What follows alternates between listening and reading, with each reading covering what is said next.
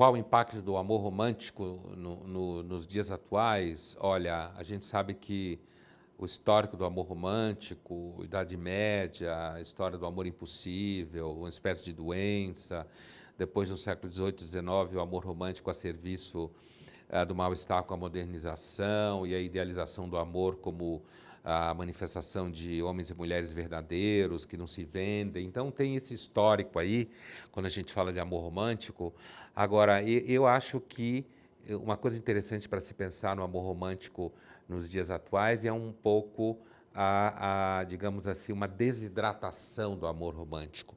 Porque o amor romântico pressupõe um certo tônus do desejo, né? um tônus da vontade, um investimento no objeto do amor romântico da pessoa que você ama. E me parece que a, a vida ela tem eh, o avanço ah, da sociedade capitalista, ela tem cada vez mais, digamos assim, penetrado em todos os níveis da vida das pessoas.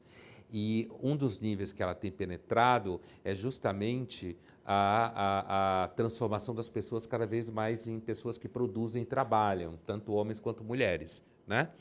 E nesse sentido, eu suspeito que o amor romântico nos dias atuais se transforme numa coisa que quando aparecer vai ser meio vintage, assim, muito rara. E eu vou dar um exemplo desse vínculo entre estrutura da vida contemporânea e uma certa desidratação do amor romântico, né? Porque o amor romântico pressupõe desejo, enlouquecimento pelo desejo, investimento, né? como a gente sabe. E eu acho que o que está em agonia é a própria atividade desejante, né? Acho que, a, a, inclusive, parte da culpa disso é muito a politização do desejo, a transformação do amor romântico, inclusive objeto de política, né?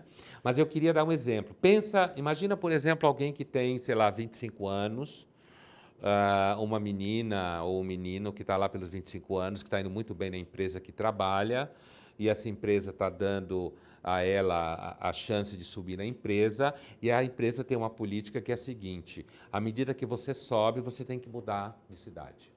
Né? Esse exemplo que estou dando é invenção da minha cabeça. Né? Você tem que mudar de cidade. Então, se você não mudar de cidade, significa que você não está batendo meta, e se você está batendo meta, você tem que mudar de cidade. Isso significa que você vai passear por vários escritórios, digamos assim, grosso modo.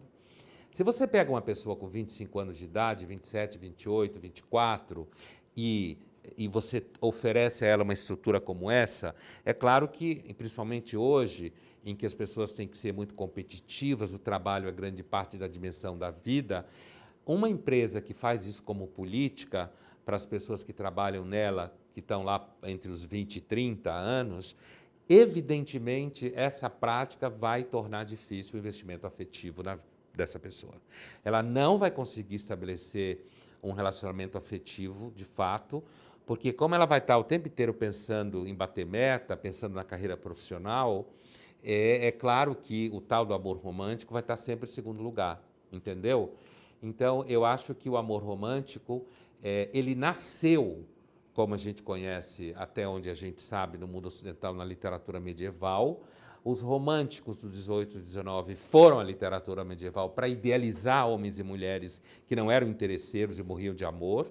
E agora, talvez, ah, como uma grande ironia, o amor romântico foi uma resistência no século 18 e 19 à instrumentalização da vida, e agora a instrumentalização da vida talvez esteja a ponto de simplesmente destruir a capacidade de desejo romântico das pessoas.